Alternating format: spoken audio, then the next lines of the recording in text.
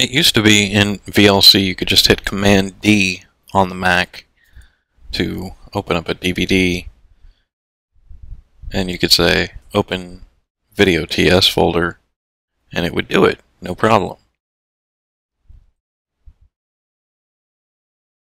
Hit open, hit enter, and then you were off to the races. However, in the updated version of VLC, the recently updated version of VLC for the Mac, it throws an error. But I found a way around it. Um, what you need to do is just drag that video TS folder to the to this area right here.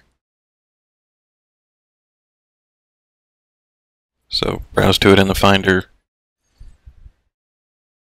drag it over there, and that's all you need to do. Um, but that's that's a problem in in VLC.